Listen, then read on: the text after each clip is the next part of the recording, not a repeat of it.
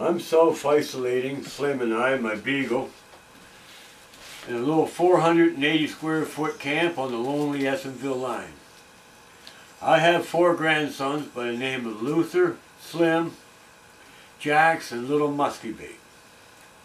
And they are from the age of 13 to 3 years old. And I want to reach out and let them know that I don't want them ever to smoke a cigarette. So when I was a lad, cigarettes were nicknamed fags. And so when my granddaddy caught me smoking a cigarette, this is what he said to me. Yeah.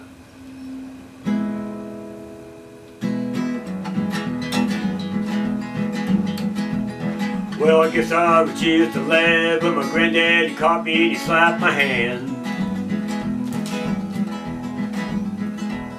Said, son, don't let me catch you sucking on no fags.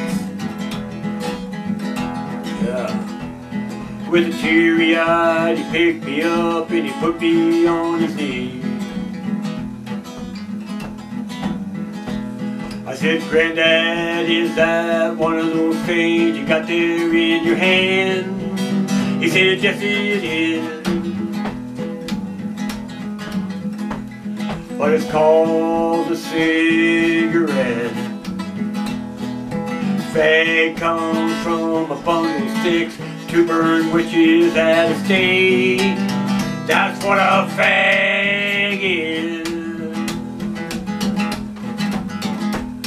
But a nickname for a cigarette is a fag.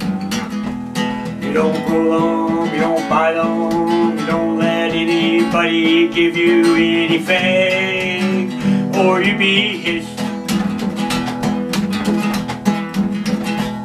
Well, hitch means you'd always have to have them around. Oh. Be on the table, on the floor, outside on the ground, and sometimes behind your ears. Don't go sucking on no fag. Well, I walked away a little taller and brighter that day. Yeah. As you lit one, then he coughed and spit. And then he winked his eye. Do you want to drag? Do you want to drag off of this here fag before I throw it away? Are you sure you don't want just one little drag? No, but that's my boy. That's my boy. Hey, that's my boy. Hey, that's my boy. Yeah, Slim and I say smoking is not cool.